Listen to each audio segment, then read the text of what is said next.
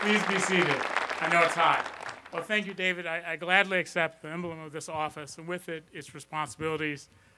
I do now solemnly express to you and to the other members of the Board of Trustees and to all members of the Grinnell community my resolve to serve the college faithfully and to the best of my abilities.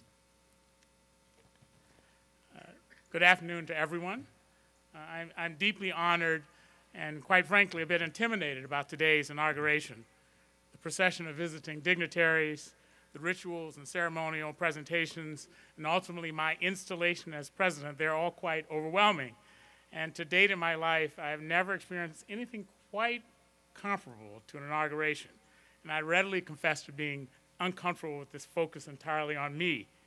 Uh, as I tried to come to terms with the meaning of the ceremony, I remembered uh, being deeply moved by the words of a character in a play I saw some eight years ago.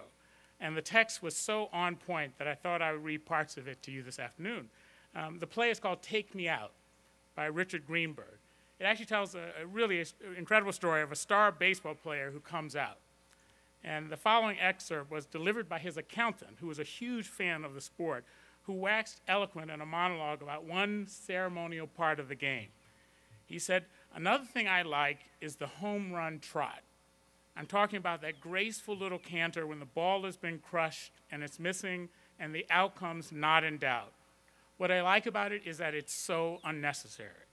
The ball's gone, no one's going to bring it back, and can anyone doubt that a man capable of launching a ball 400 feet is somehow going to fail to touch a base when he's running uninterfered with? For all intents and purposes, the game at that moment is not being played. The sensible thing to do would be to say, yes, that's gone, add a point to the score, and send the next batter to the plate. But that's not what happens. Instead, play is suspended for a celebration. A man rounds four bases, and if he's with the home team, the crowd has a catharsis, and from the way he runs, you learn something about the man, and from the way they cheer, you learn something about the crowd. I like to believe that something about being human is good. And I think what's best about us is manifested in our desire to show respect for one another, for what we can be. And that's what we do in our ceremonies, isn't it? Honor ourselves as we pass through time. My coming to terms with today's ceremony came about because I realized that today really isn't about me. It's truly about the college. Today we share something with baseball in honoring ourselves this college, its faculty, students, staff, alumni, and trustees as we pass through a particular moment in Grinnell's rich history. Ceremonies like this one are, making, are marking a transition point in the long and accomplished journey of this college, from its humble be beginnings in Davenport to its promising new Grinnell location at the intersection of east-west and north-south railroad lines, to its blossoming as a growing source of knowledge, confidence, and hope, and yet also humility, Today, we not only stand at the intersection of East and West, North and South, but also, also at the intersection of past and future. Ghanaian culture has a symbol and a word that are particularly appropriate for moments like this, the Sankofa. Um, both the word and the symbol suggest the be benefit of taking from the past that which is good, bringing it into the present, and then using it to move into the future. The Sankofa is a symbol that has inspired me personally, and it also aptly describes the essence of a liberal arts college. On a personal level, acknowledging the past means appreciating all the people who have made my life and career possible and enabled me to reach this particular point. First, my parents, who are sitting in the first row. They are joined by my mother's uh, twin sister, um, and all three of them will celebrate their 88th birthdays in the next two weeks.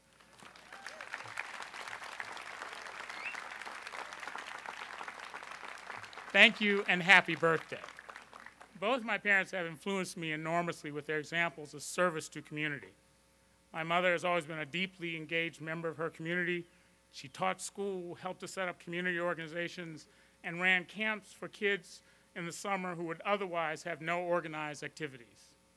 My father demonstrated a similar commitment to his patients. From his Baltimore row house medical office in one of the toughest communities in the city he saw patients six days a week for 40 years. I must also thank my partner, Dr. Peter Daniolos, an accomplished, dedicated, and supremely humane child psychiatrist, without whose love and support our family would not be here at Grinnell. Peter has become deeply connected to the college and town in our short time here. I'd also like to thank Peter's mother, Mrs. Vasiliki uh, Dan- Daniolos, uh, who, who has regularly visited us here in Grinnell and, and gently offers lots and lots of advice about how we can improve our child rearing practices. Next, our, our two energetic boys, Emerson and Basile. Emerson is somewhere, I'm sure, um, who remind us every day about what is essential and truly important in life, and it often is not what either of us is working on at that particular moment. Finally, I must also thank many of my mentors who, in so many ways, helped me to reach this point in life. In, in addressing you today, I'm deeply aware of Grinnell's historic mission to educate men and women who are prepared in life and work to use their knowledge and their abilities to serve the common good. As a descendant of slaves, I find special meaning in the knowledge that Grinnell, Iowa was an important stop on the Underground Railroad that secretly transported slaves to freedom. I am also aware of the many challenges this college has faced in its 165 year history.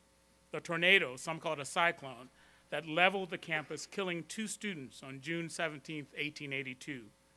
But that did not diminish the courage and determination of President George Frederick Magoon, who held commencement exercises as scheduled a few days later.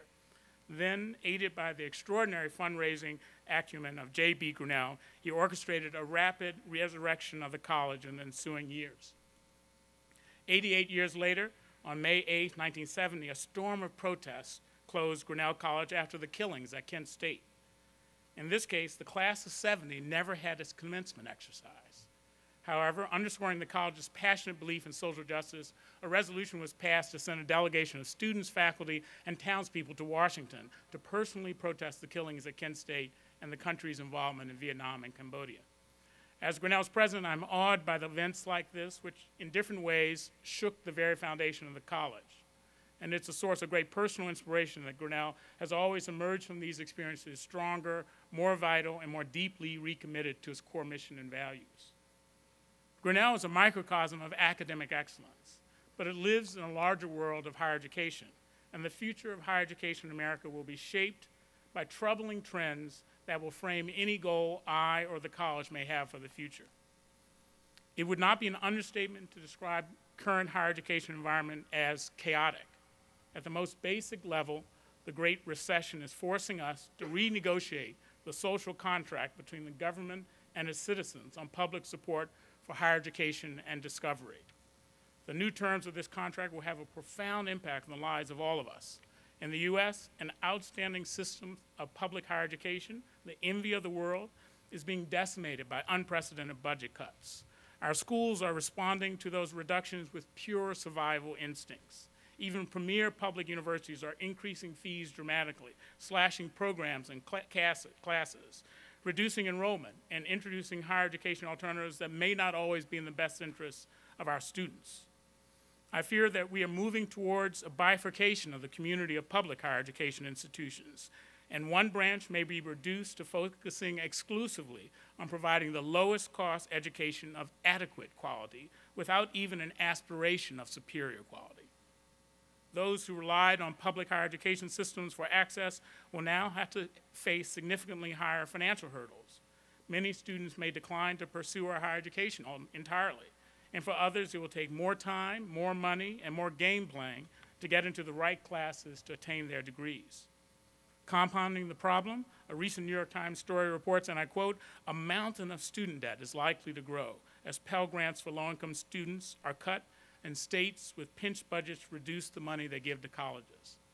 And at an even more fundamental level, I worry that state and local budget cuts to K through 12 public education will simply increase the disparity in preparation levels of those starting college with the most resources and those with the least.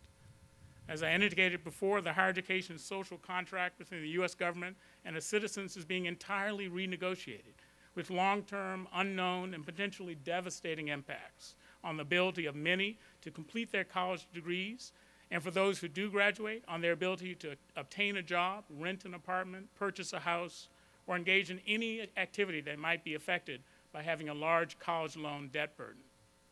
More strikingly, our nation's ability to address the most complex, challenging problems of tomorrow is being severely compromised by the threat of at least several years of flat, if not reduced, budgets for funding of research and training. The consequences of this recession are not the only factors whipping the world of higher education. There are demands to demonstrate clear learning outcomes, greater calls to provide our graduates with business-ready skills, challenges from continuing blurring of boundaries between academic disciplines, particularly for institutions that cling to outdated notions about clearly defined narrow bodies of knowledge. Changing demographics of younger populations with growing percentages of minorities, especially Hispanic ethnicity, who will come mostly from K through 12 public systems that continue to fail in their efforts to provide a solid education to these students. Pervasive access to enormous amounts of information in ways that were unthinkable to our parents that may transform how we learn and teach. Technological innovations that have the potential to improve many dimensions of quality of higher education, but show absolutely no signs of reducing cost and the march of globalization, with large countries like China and India building their own systems of higher education, largely imitating ours. In sum, continuous, often volatile change is occurring at every level of education, and that, I believe, is a classic definition of chaos. Despite its unpredictability, chaos as a positive force was embraced by one of my personal heroes, a woman named Septima Clark. She was a largely unsung hero of the civil rights era yet she was credited with creating the system of community schools that taught a largely illiterate community of African Americans in the South how to read and write so that they could fill out the forms to register to vote. At the end of her life, she was asked to comment on the remarkable period of social revolution in which she had lived, and she said this I have great belief in the fact that whenever there is chaos, it creates wonderful thinking. I consider chaos a gift. Like Septima Clark, I believe we should all begin to think of this period of higher education chaos as a gift, a motivator that can spur us to great innovative thinking. In the future, private colleges and universities, especially those with resources like Grinnell, will be called upon to do more.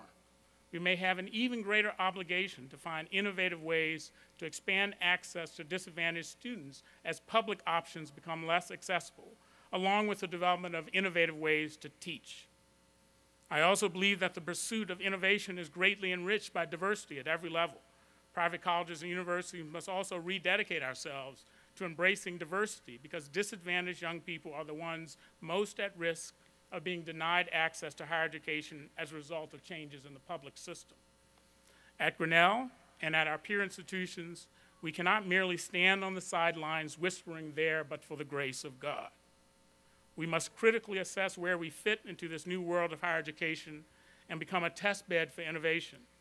Indeed, we must ensure that today's chaos is a gift towards clarity, and that the social contract we negotiate for tomorrow is one that preserves the equality of opportunity that underpins our nation. On April 16, 1963, Martin Luther King wrote in his letter from a Birmingham jail that human progress never rolls in on wheels of inevitability. He went on to note that change occurs because of the hard work of people committed to change, committed to making the world better.